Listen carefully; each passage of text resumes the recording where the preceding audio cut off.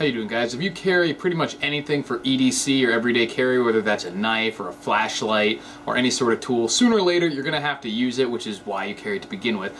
And almost every time you do, someone says, why do you carry that or why do you have that? And it's kind of ironic and hilarious that any time they say that is because you're using it. It's the only way they know you usually have it. And uh, it kind of answers the question right there, is that this is why I have it, to use it for things like this. And most of the time those things are not normally very serious. You know, the power went out and you use a flashlight to, you know, find your way to the, the door or something like that, or you look in a box, or use a knife to open a package, or something similar and usually not very serious like that. But there are times when super serious things come up and sometimes life or death situations, and that's one of the main reasons that we carry stuff like this, specifically something like a knife. And I was, uh, there was a few weeks ago, there was an article from uh, Quebec. I think it was a UK article, but the incident happened in Quebec where a woman was uh, she was wearing like a Muslim headscarf and she I guess she like fell down on the escalator or something and it got trapped in the escalator and it ended up choking her to death even though there were several bystanders trying to help her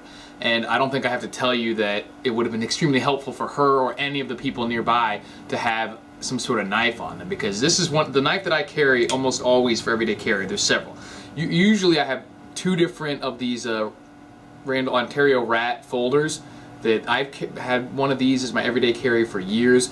And if not this it's usually a Cold Steel XL Vaquero or a Cold Steel Voyager or something like that.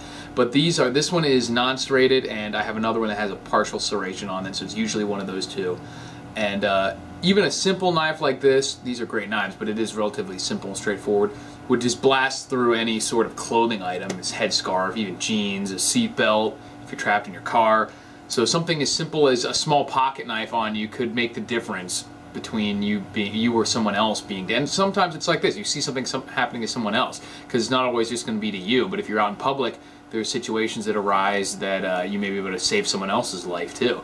So don't think that the uh, pocket knives and EDC are just for cleaning your fingernails and opening your package of ding-dongs can really make the difference in a life or death situation too. And if you want to check the uh, link in the um, video description beneath this box, I'll have a link to the, the article and so you can check it out and uh, see the situation. But it's pretty crappy. I imagine that would be a pretty uh, shitty way to die, especially if you're standing there trying and willing to help and just didn't have something as simple as a knife able to help you out. And this actually, being in the UK, it's probably illegal to, or I know it is illegal to carry most knives, probably any knife at this point.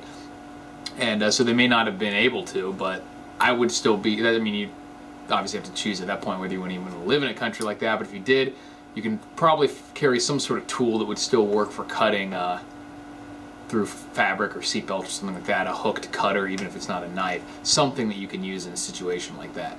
But in the meantime, while we still live in the land of the uh, so-called free, I definitely recommend carrying a knife and at least a knife everywhere you go.